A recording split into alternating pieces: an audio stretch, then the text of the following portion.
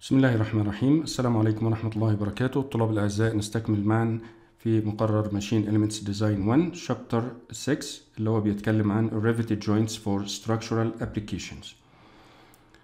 آه عندنا بالطبع الخطوة اللي بعد كده اللي هو Thickness of the butt straps. سماكة اللوح المساعد سواء إذا كان من أعلى أو من أسفل أو من جهة واحدة من جهة واحدة أو من كلا الجهتين.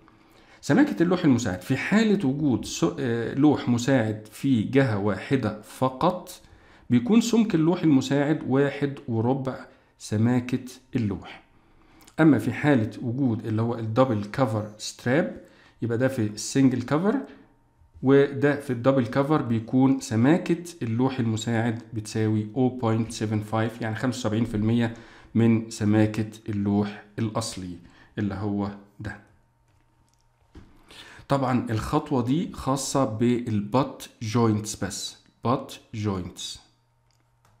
أما في حالة ال lap joints ال lap joints طبعا بيبقى عندي آه لوح على لوح بالشكل ده كده وبالتالي مفيش أي ألواح مساعدة الاتنين لوحين رئيسيين وبعمل لهم عملية الإيه؟ البرشام بالشكل ده فمفيش ألواح مساعدة. آه، الخطوة اللي بعد كده هي حساب كفاءة الوصلة efficiency of the joint.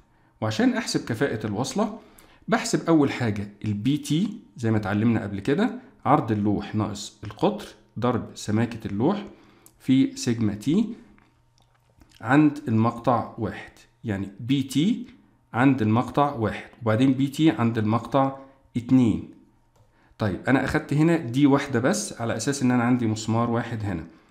في المقطع اتنين عندي كام مسمار؟ أدا مسمار وأدا مسمار. يبقى P ناقص اتنين d اللي هما الاتنين دول.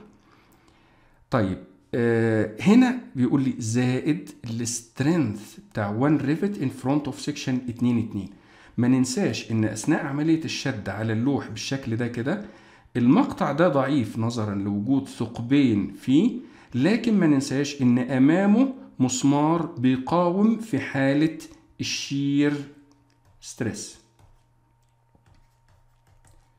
يبقى ده كمان هيتاخد في الحسبان يبقى هجمع عليه ال strength بتاع ال shear بتاع مسمار واحد.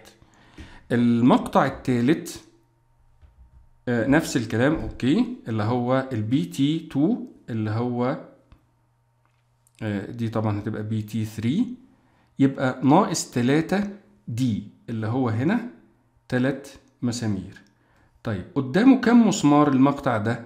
أدا واحد اتنين في مقطع رقم اتنين وواحد كمان في مقطع رقم تلاتة.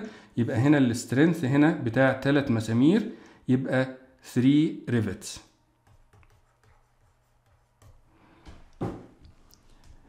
آه بعد ما حسبت ال Pt واحد وال Pt 2 وال Pt 3 آه باجي أحسب كفاءة الوصلة. ادا Pt واحد Pt 2 Pt 3 وما ننساش إن إحنا قبل كده وإحنا بنحسب عدد المسامير حسبنا ال Ps وال Pc هاخد الأقل منهم الخمسة أو لو في أكتر من كده least of them. ال least الأقل. وفين؟ أحطه في البسط هنا. وفي المقام أحط ال P اللي أنا بجيبها منين؟ من عرض الوصلة كاملا بدون ما أنقص منه أي diameter. ضرب سمك اللوح في sigma t وهنا بيطلع لي كفاءة الوصلة اللي بضربها بعد كده في 100 عشان يطلع ال percent أو النسبة المئوية لكفاءة الوصلة. بعد ما حسبت كفاءة الوصلة باجي بعد كده أعمل ال joint dimensions اللي هي بختار ال pitch وال marginal pitch وال diagonal pitch أو ال back pitch في على حسب الوصلة نفسها.